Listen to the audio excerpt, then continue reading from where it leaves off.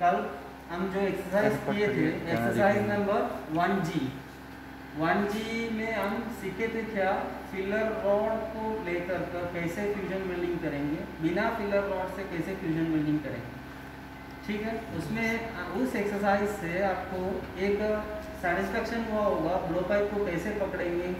कैसे filler rod देंगे किस एंगल से पकड़ने से सही होगा फ्लेम कैसे मतलब इनर बोन और बेसमेंट के बीच में कितनी दूरी पे रखेंगे ये सब अभी क्लियर हुआ होगा। जी। तो इसी को ले देखते हुए हम अभी जाएँगे एक्सरसाइज नंबर दो। दो में क्या है? Two G open square butt joint on एमर sheet in down question और विथ फ्लैट क्वेश्चन बाई ये और उसकी बीच में बहुत फ़र्क है। वो बंदे आपके हाथ को स्टडी करने में सीखे थे। अभी क्या हो गया? जोड़ बनाना। यहाँ लिखा है ओपन स्क्वायर बट जॉइंट तो जोड़ बनाना और उसमें बहुत अंतर है। अभी जोड़ कैसे बनाएँगे?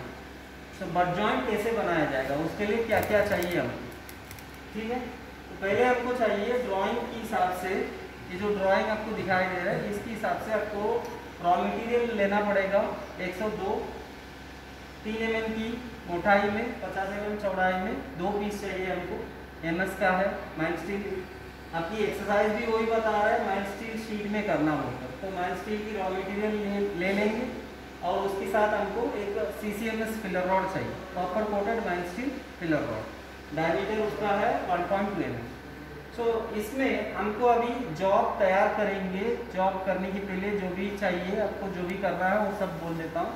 पहले ड्राइंग के हिसाब से हम जॉब को काटेंगे। काटेंगे मतलब इधर हम शेयरिंग मशीन के द्वारा काट देंगे क्योंकि हमारी मटेरियल की थिकनेस है तीन एम एम है तो तीन एम एम आराम से शेयरिंग मशीन से कट जाएगा। जब शेयरिंग मशीन नहीं है, तब हम सिसिल के द्वारा भी काट सकते हैं। ठीक है? पहला काम हम काट लेंगे। किस हिसाब से काटेंगे? हमको चाहिए 102 तीन और 50 की साइज़ की पीस को काट कर रखेंगे दो पीस ठीक है? ये कटिंग होने के बाद हमारा दो नंबर की सीक्वेंस क्या आएगा? जिस मतलब जिस जगह में हमको वेल्डिंग होना है, उस जगह को हल्का सा फ़ाइल करो। तो मैंने पहले भी बोल चुका हूँ, आपको दो टाइम पे आपको फ़ाइल करना पड़ेगा। एक है वेल्डिंग करने की पहले और एक है वेल्डिंग करने की बाद।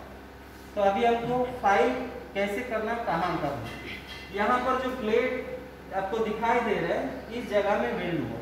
तो जिस जगह में वेल्ड हुआ, हल्का सा उस सरफेस को हम फ़ाइल कर देंगे, हमको वेल्डिंग सही तरह से आ जाएगा। ठीक है, अभी हम फ़ाइल कर दिए। थर्ड हमको क्या करना है? इधर आपको कुछ डायमेंशन तो नहीं दिए हैं। मतलब इतनी दूर तक, इतनी मतलब जैसे हम पहला जॉब में किए थे, पाँच एम एम छोड़कर दस एम एम की लाइन खींचो, ये सब इसमें नहीं है। तो हमको स्क्राइबर की ज़रूरत नहीं पड़ेगा पंच की ज़रूरत नहीं पड़ेगी। उस जगह में हमको और भी काम करना पड़ता है। क्या क्या काम करना पड़ता है, देखिए। तो इतना में हम अभी प्लान सेटअप को चला जाएँगे। प्लान सेटअप की पहले हमको क्या करना पड़ेगा? एप्रॉन ग्लव्स जितनी भी सेफ्टी की चीज़ है, और जो भी टूल्स लगेगा, उसको भी लेकर चला जाना। प्लांट सेटअप करेंगे।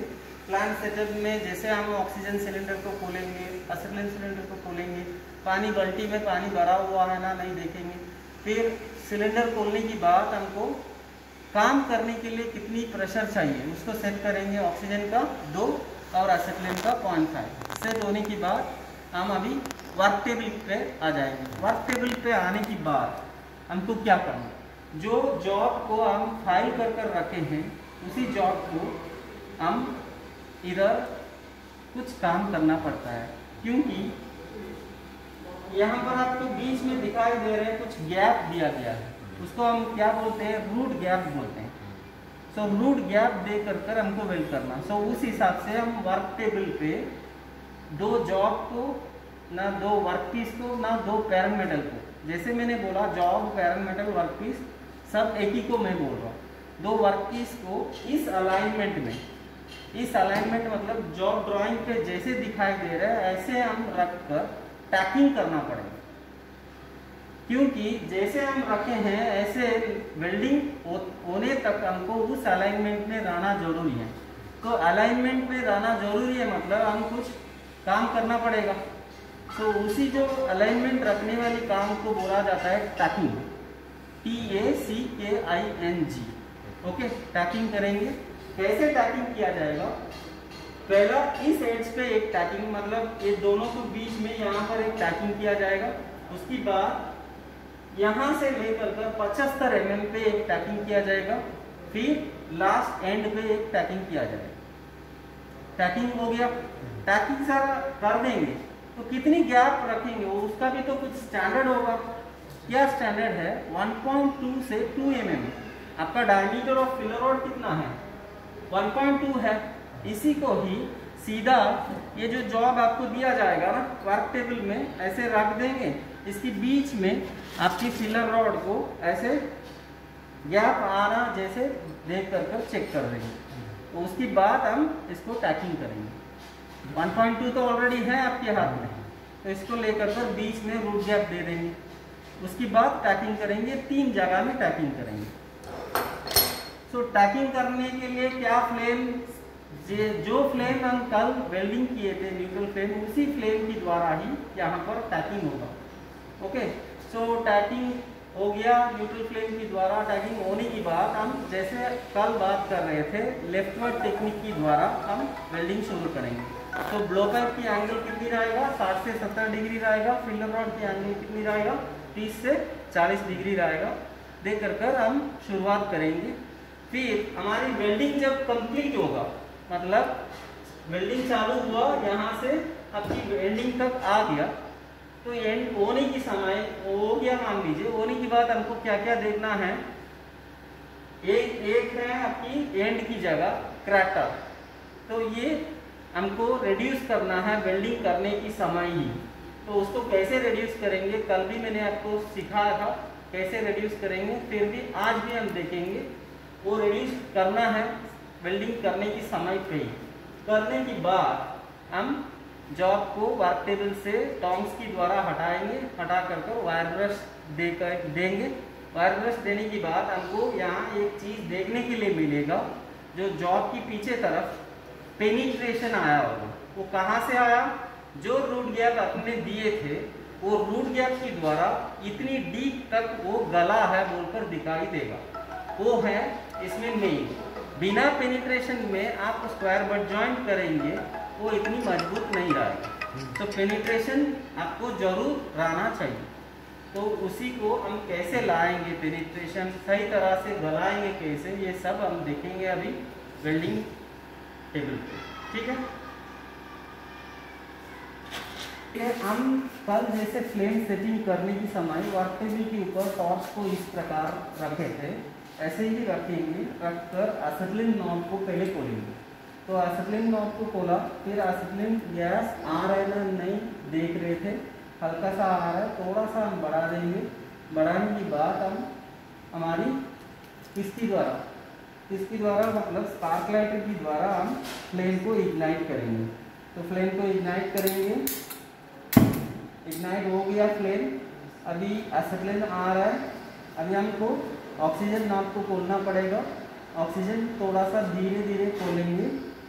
ठीक है, देखिए फ्लेम चेंज हो रहा है। जैसे हम कर रहे थे कल, ऐसे ही हम फ्लेम अभी सेट किए हैं। तो न्यूट्रल फ्लेम बन गया है अभी। तो हम जैसे बता रहा था बोर्ड पे, हमको पहले क्या करना है, जो टेबल पे रखा हुआ आपकी वेल्ड पीस को वर्क पीस को, पहले रूट गैप दे कर कर हम सेट करेंगे। तो रूट गैप कितनी देना पड़ेगा? 1.2 पॉइंट mm से 2 mm तक दे सकते हैं। मैंने अभी दे दिया अप्रॉक्सीमेटली फिलर रॉड की साइज़ के हिसाब से। तो अभी हम टैकिंग करेंगे। कैसे टैकिंग होता है देखिए। तो पहले दोनों एड्स के बीच में गरम को दिखाएँगे फ्लेम को दिखाएँगे। फ्लेम को दिखाने के बाद जब वो गलेगा मतलब सॉलिड से लिक्विड स्टेट पहुंचेगा, तब हम हल्का सा फिलर रॉड देंगे। दोनों के बीच में। तो ये अभी पैकिंग हो गया। देखिए, मैं जैसे रखा था, ऐसे मेरे को अलाइनमेंट चाहिए। तो उस अलाइनमेंट के लिए मेरे को पैकिंग करना ज़रूरी है। तो अभी मैं क्या कर रहा हूँ, जैसे मैंने बोला, पचहत्तर एम पे टैकिंग चाहिए। ऐसे ही मैं टैकिंग करूँगा। देखिए, वो धीरे से लाल कलर को चेंज आ रहा है। उसके बाद धीरे धीरे क्या होगा सॉलिड से लिक्विड बनेगा। तब हम क्या करेंगे? हल्का सा फिलर को दे देंगे। फिर इस तरफ़ एक्चुअली बीच में ही आपको दिखाना पड़ेगा फ्लेम को, दोनों की बीच में, दोनों प्लेट के बीच में। तब दोनों समान होकर गलेगा। ठीक है? अभी हम दोनों को जोड़ दिए। फिर हमारा और एक एज मतलब बचा हुआ है। उसको भी हम पैकिंग करेंगे।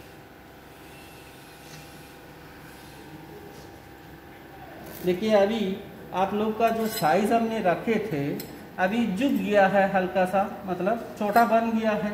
तो इस कारण के लिए ही हमको जो साइज़ चाहिए 1.2 से हल्का सा बड़ा ही रखना पड़ेगा। तब हमको समान तरीका से पेनिट्रेशन निकलेगा, ठीक है? अभी मेरा पैकिंग क्लियर ओके अभी जैसे मैंने बोला आप लोग को रूट गियर समान नहीं होने से आपको पेनिट्रेशन निकलने में मुश्किल होगा। अभी कैसे अभी पेनिट्रेशन निकलेगा? हल्का सा तो झुक गया है, हम ऐसे सोचेंगे तो। हमको क्या करना पड़ेगा? इसका एक नाम होता है डाइवर्जेंस अलेवेंस बोलकर। जैसे अभी है हल्का सा ज़्यादा है एक साइड पे हल्का सा कम है एक साइड पे। तो जिस साइड पे अभी ज़्यादा है, जिस साइड पे अभी ज़्यादा है उस साइड से हम शुरुआत करेंगे। तब क्या होगा? जो झुका हुआ साइड ऐसे रहेगा।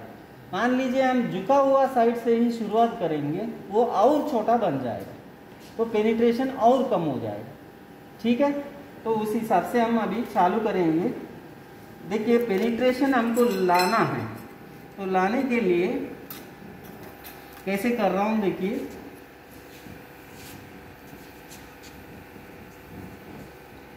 अभी तक गला नहीं है, गलेगा हल्का सा समय लेगा। बीच में आपको देखना पड़ेगा फ्लेम चेंज हो रहे है क्या? वो हम सभी टाइम थोड़ा सा देखना है, क्योंकि जब फ्लेम चेंज हो जाएगा, हमारी मेटल की गुण जितनी भी है, वो भी चेंज हो जाएगा। वो दिक्कत करेगा, अभी दिक्कत नहीं होने से भी बाद में दिक्कत करना शुरू हो जाएगा। देखिए, मेरा अभी सॉलिड से लिक्विड बन गया है। मैंने धीरे धीरे फिलर रॉड देना शुरू कर लिया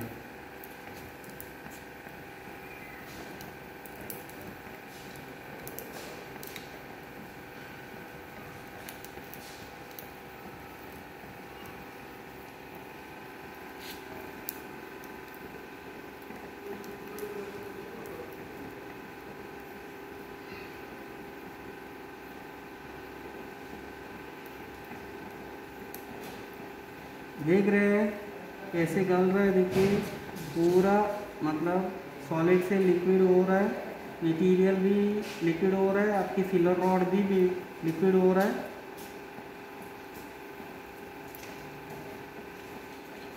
सामान फ़ीड देंगे सामान गलने के समय सामान देंगे तो आपकी वेल्ड बीड की अपीयरेंस बढ़िया लगेगा।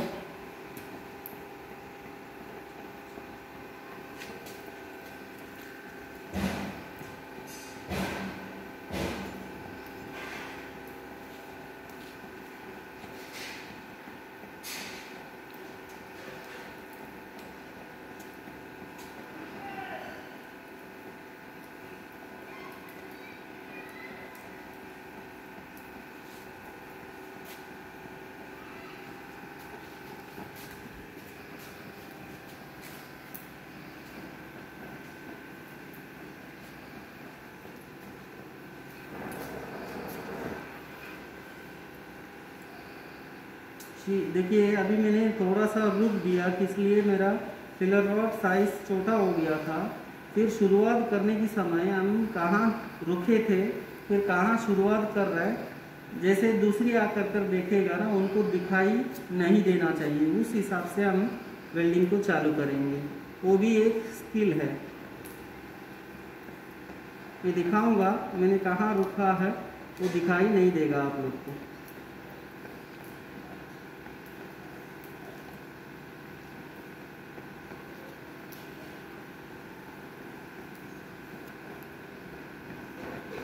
देखिए इस जगह में लास्ट में मैंने क्या किया, आप लोग देखा होंगे पिलर रॉड की ऊपरी फ्लेम का पूरा कंसंट्रेशन जा रहा जैसे मैंने किया।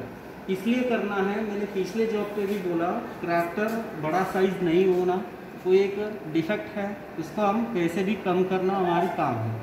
तो इसी कारण के लिए लास्ट मोमेंट में आपकी गर्म और जाने की जगह नहीं है। उस जगह में हल्का सा फ्लेम की गर्म को क्या करेंगे फिलर रॉड के ऊपर ले लेंगे। तब क्या होगा? फिलर रॉड ज़्यादा गल कर गिरेगा आपकी बेस मेटल के ऊपर। बेस मेटल थोड़ा सा कम गलेगा। ठीक है? ओके अभी हम वेल्डिंग कंप्लीट किए हैं। तो वेल्डिंग कंप्लीट होने के बाद हम क्या करेंगे?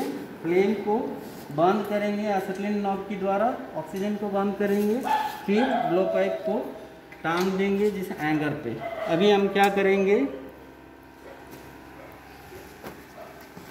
हाँ मतलब गरम है जो उसको टोंग्स की द्वारा पकड़ेंगे। टोंग्स से पकड़कर क्या करेंगे? वायर ब्रश से साफ़ करेंगे। साफ़ कर कर फिर देखेंगे हमारा क्या क्या हुआ है।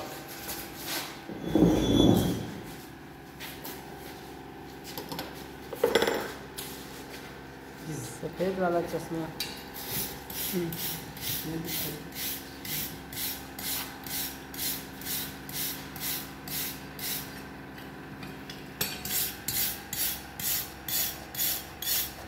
अभी देखिए, आपकी बीड के अपीयरेंस कैसे हैं? कितनी आपकी रिपल्स फॉर्मेशन पास पास आया है, ये आपके ऊपर निर्भर करता है कैसे आपने फ़ीड देंगे। उस हिसाब से वो निर्भर करेगा। ठीक है, आप अभी वेल्ड बीड को देख लिया, आपकी पेनिट्रेशन को देखेंगे।